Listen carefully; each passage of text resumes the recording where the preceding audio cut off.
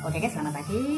Jika kamu mengalami hal-hal seperti ini, sakit kepala, tubuh terasa nyeri, suhu badan tinggi, pandangan mata kabur, susah bernafas, susah tidur, mudah marah, mudah emosi, sulit berkomunikasi, suhu badan tinggi, pusing.